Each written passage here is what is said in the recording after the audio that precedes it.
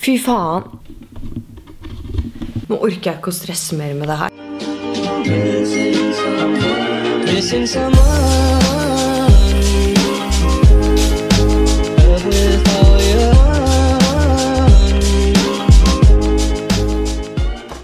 Hvert fall ha en ny Junkyard Hall. Nå er det kjempelenge siden, og jeg har faktisk dratt fram øh, svære kamera for anledninga. Det er ødelagt. Men jeg hadde i hvert fall tenkt å ha en ny Junkyard Hall, og dere vet greia. Amalie O20 får 20% avslag på alle fullprisvarer, pluss den her som dere kan bruke i fysiske butikkos. Så jeg tenkte bare, we can dive right into it. Og vi kan begynne med bikini.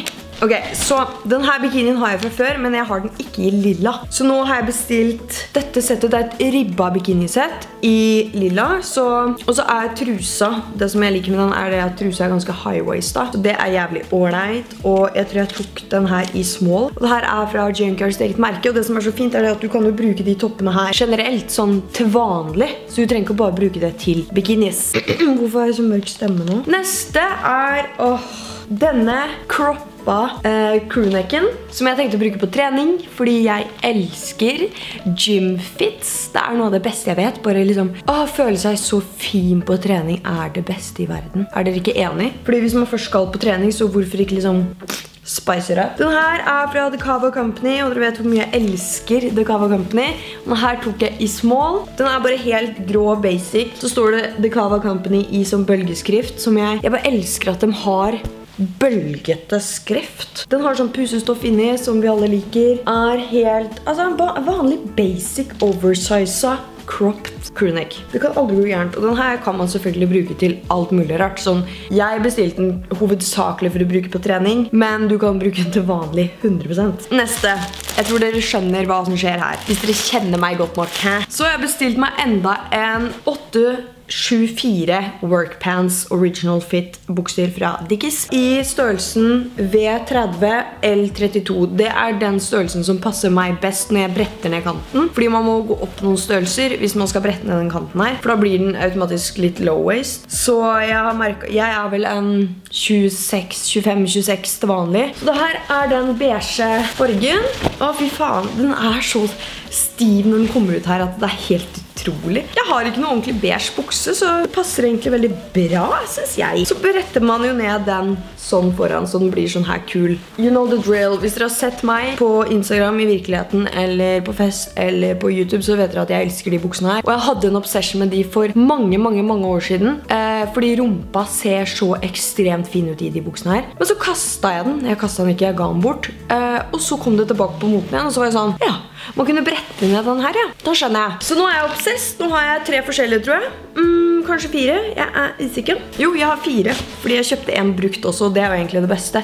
For da er de allerede gått inn, og da er de ikke så stive som den her. Fordi den her buksa står av seg selv. Men jeg anbefaler virkelig de buksene her. Som sagt, de er veldig stive i starten, og man må på en måte gå inn i de og riste og banke dem, sånn som jeg pleier. Men, you know, casually just slåss med buksa. Men eh, etter det så sitter det som et skudd, og de er behagelige, fine, classy, street, altså alt. I love them. Og så har jeg lenge altså, trengt en eh, bare helt vanlig grå basic joggebukse, fordi den jeg har fra Local Heroes, den har jeg gått og brukt så mye at den er så stiv nå. Så den blir ikke deilig å gå i, og den har krympa litt i vask også. Da bestilte jeg en ny, og den her er fra Junkyards eget merke.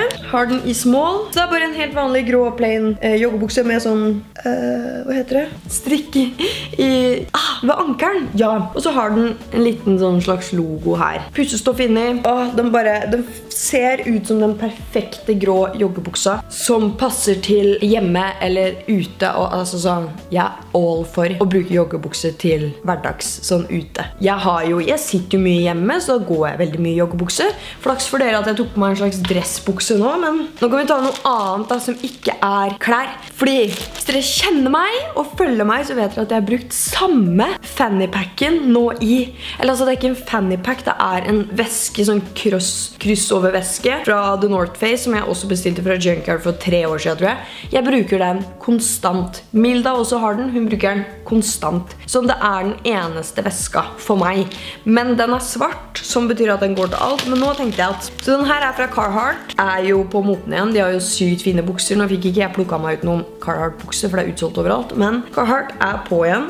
Nå skal jeg bare si det.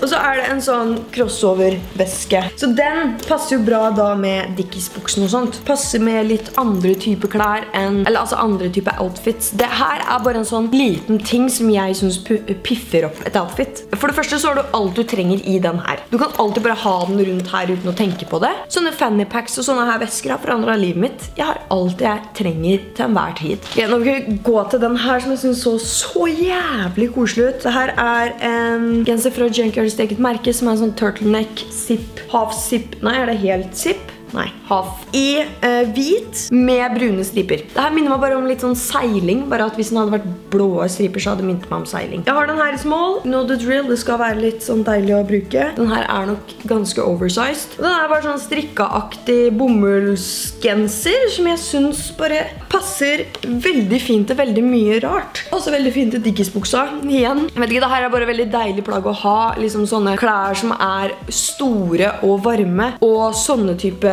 gensere også passer veldig fint under trenchcoats og sånt. I like it, I like it, I like, like, like, like, it.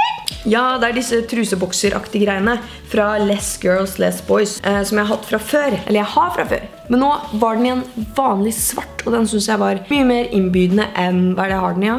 Grønn, eller... For eksempel når man går med low-waist-bukser, og man er litt sånn ukomfortabel med at buksa er så langt nede ved trusekanten, så er det veldig fint å bruke sånne her truser. Fordi da syns denne boksekanten da over.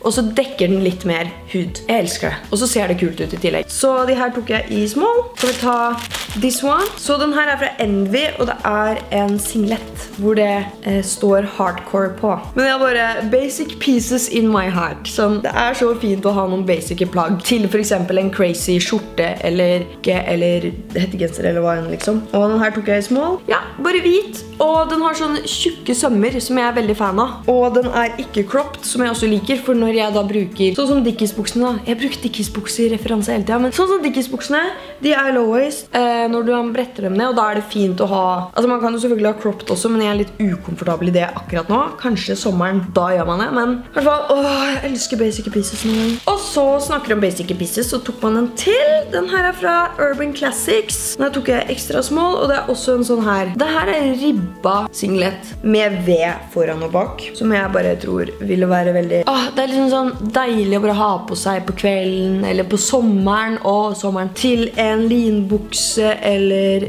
Altså, you know the drill. Den her er sånn kremhvit og ekstremt myk i stoffet. Ja, ikke sånn kjempeekstremt, men den er veldig stretchy i hvert fall. Yes. Hope this fits my small boobs. Så nå har vi faktisk et set fra Sweet Skateboards, som er en bukse og en skjorte. Dette, altså, det ser litt ut som en flanellpysj man bruker på vinteren, men jeg liker det. Hvorfor ikke bare dra homeware ut på gata, tenker jeg. Så denne her tok jeg i ekstra small. Det er bare en sånn, altså, sånn, serr, det er bare en pysjbukse, liksom. Det ser seriøst ut ut som en pysjbukse. Veldig deilig. Vid beina. Se for meg at den her er litt sånn halvveis low waist. På en måte sånn mid-waist, kanskje. Og så har den lommer bak. Er bare veldig kul. Og det, jeg tror, altså om ikke det her er flanell, så er det fake flanell. Så til den så er det en sånn t-skjorte-skjorte. Og jeg tenkte at det her ble kult på sommeren, ikke sant? Med den her, og så en eller annen crop top under, eller singlet, eller hva. Og bare daffe rundt i. Ellers er det også veldig fint med en hvit longsleeve under, for å få varmen tilbake, nå som er litt kaldt. Den her tok jeg også i ekstra small. Tada! Det er et veldig stort tips til dere som har lyst til å kjøpe bukser fra